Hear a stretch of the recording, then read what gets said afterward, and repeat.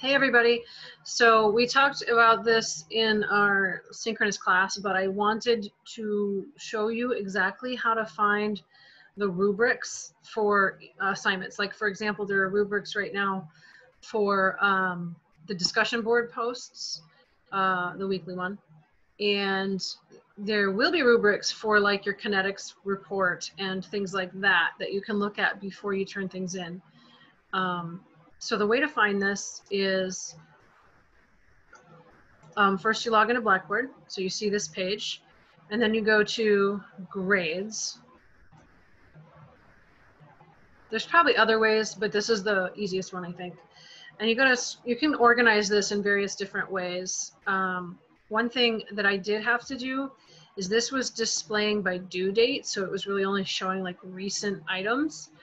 Um, you can choose course order and it will organize it by module essentially. Uh, that's a manual process. I have to go in and do that, but you know, generally it keeps things um, more in order. And so the, this is the discussion board right here. It's not due until like tomorrow, but um, this is how you would, so you can see what the description of it is and you of, of the grade that's not the instructions for the post but that's what you're sort of assessed by that's how it's categorized so it's in module one.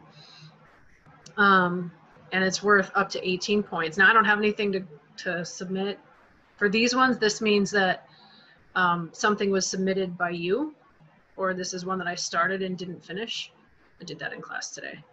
Um, if there's not an exclamation point then it means you haven't submitted anything to me.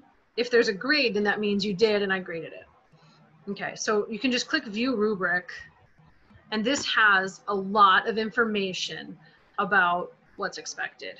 All right, so there's basically two categories for this one. It's do you understand the material and are you being logical in your rationale?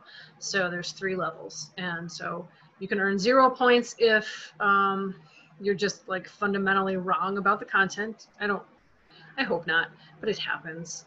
Um, competent is half point, uh, you know, half of the points in that category, 25% of the total points. Um, and then of course we would like everybody to be proficient, which means you get the full nine points for the content understanding. And it's kind of the same organization for reasoning. So you can read these details, lots of information about how to get the best scores, which are, you know, proficient. All right, so that's how you're going to see the rubrics. I hope it helps you.